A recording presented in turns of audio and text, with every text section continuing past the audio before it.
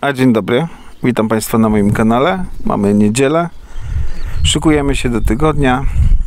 W dniu dzisiejszym zrobiłem sobie pewne przemyślenia dotyczące najbliższych dni i pracy, która będzie zrealizowana. Mamy taki plan minimum, który musimy zrobić e, i jest on w pewien sposób podyktowany takim e, rozrachunkiem pomiędzy kasą, która nam powiedzmy została do um, włożenia w remont i maksymalnym pociągnięciem pracy do przodu, e, do takiego momentu, kiedy ten dom będzie zdatny do zamieszkania. To znaczy teraz też jest zdatny do zamieszkania, ale równie dobrze i pustostany w całym kraju są też zdatne do zamieszkania. Jakie plany mamy? Plany związane są głównie z tym pomieszczeniem. Już pewnie w poprzednim filmie widzieliście. Mamy oczyszczone ściany.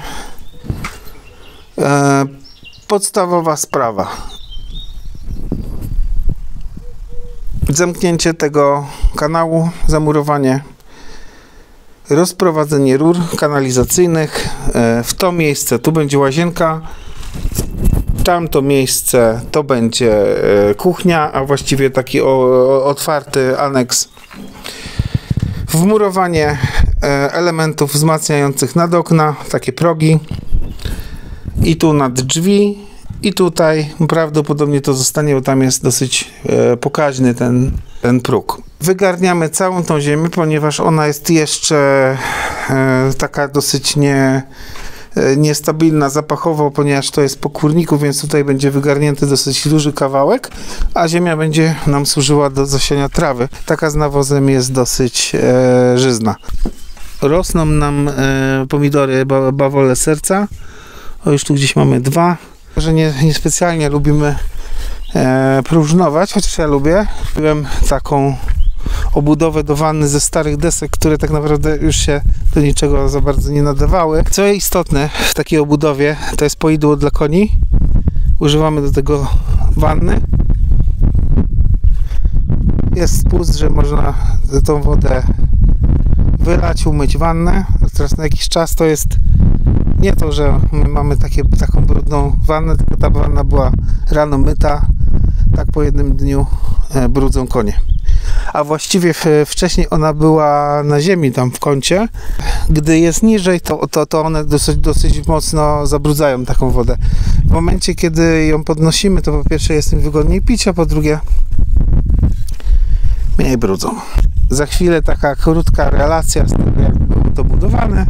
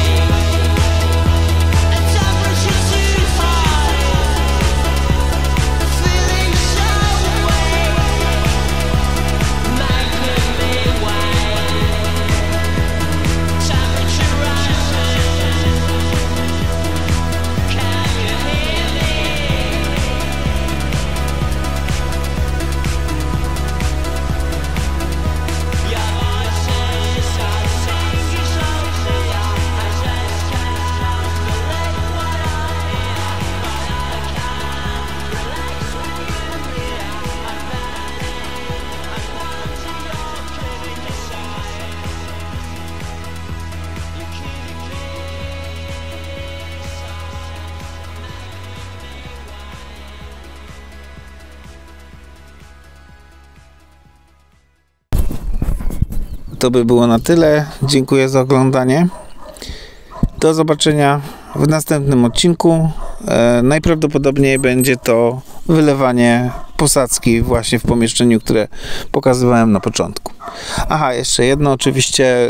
e, nie jest zakończona jeszcze praca nad e, poidłem, ponieważ będzie to jeszcze szlifował papierem ściernym i będziemy olejować, żeby to jeszcze na jakiś czas zabezpieczyć. Trzymajcie się, do następnego.